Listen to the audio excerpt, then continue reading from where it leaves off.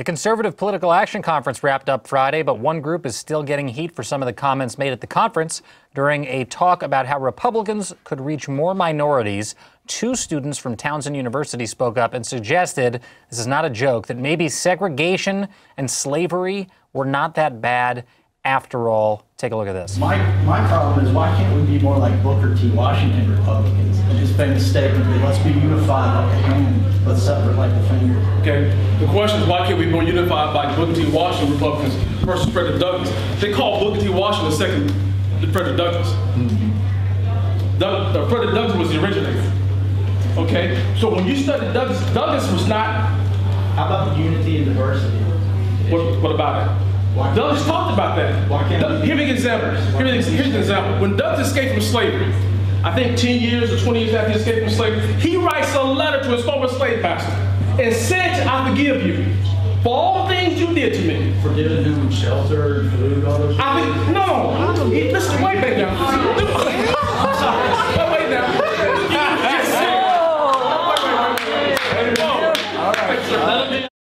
The students who belong to to college's white student union defended their comments today.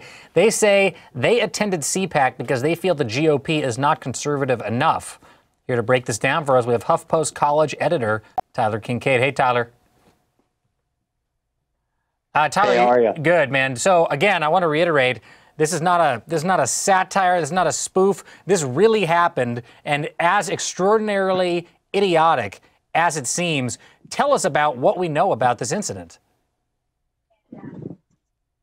Uh, well, the White Student Union actually popped up last fall. Um, they it was a, a, few members from a, a disbanded uh, group from a year before that um, was criticized for a lot of the same things for being uh, for being perceived as racist, and now they they've come back and tried to start this White Student Union. Uh, and Towson is in it's in Maryland. It's not too far from Baltimore, so it wasn't much of a trip for them to get down to to CPAC in uh, National Harbor.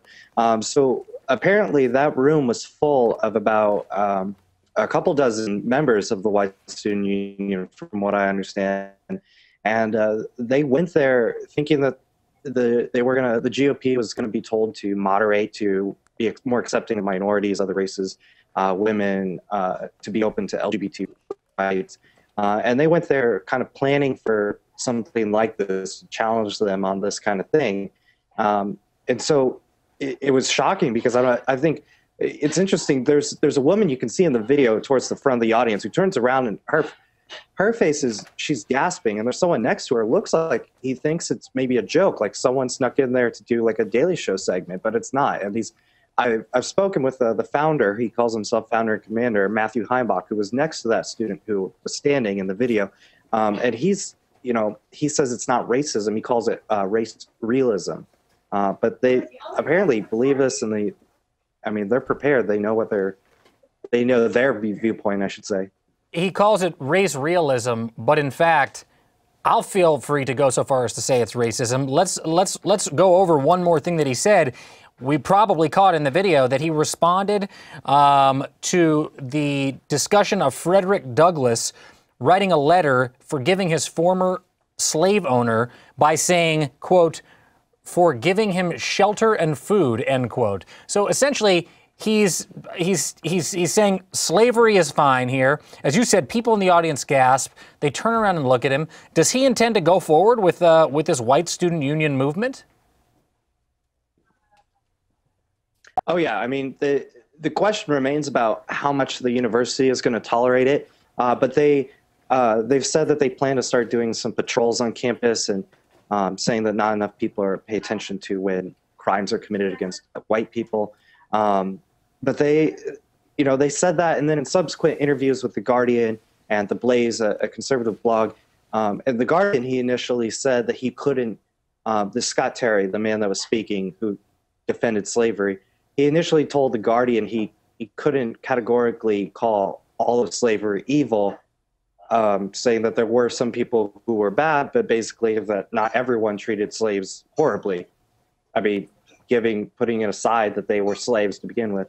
Um, and then he later told the the Blaze, "No, I don't, I don't support slavery."